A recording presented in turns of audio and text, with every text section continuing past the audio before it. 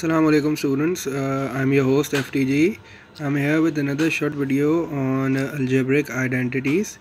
Uh, basically in this video we'll be covering the three basic algebraic identities. Uh, we'll be discussing their proofs and we'll be doing one example as well. So starting with the first identity uh, that is a plus b whole square which is uh, equals to a square plus 2 times the product of the first and the second term plus the square of the last term. This is basically the first identity.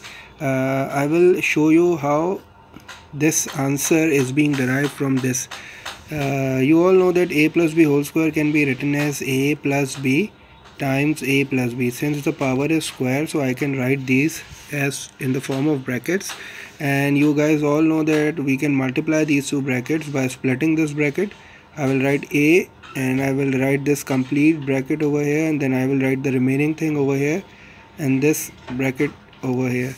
Then I will do the expansion simple expansion. A times A is A square and uh, when I will multiply A with B this will become AB plus this B when being multiplied with A it will become AB and then B multiplied by B will become b square. Since this AB and AB are like terms so they can be added together and my final answer will be a square plus 2ab plus b square which is very much similar to this.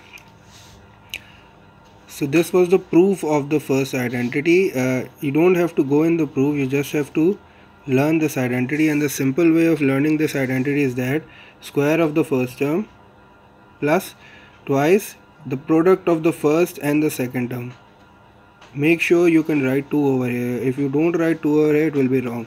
Twice the product of the first and the second term plus square of the last term. So this is my first identity. Uh, i hope you have memorized it. Thank you very much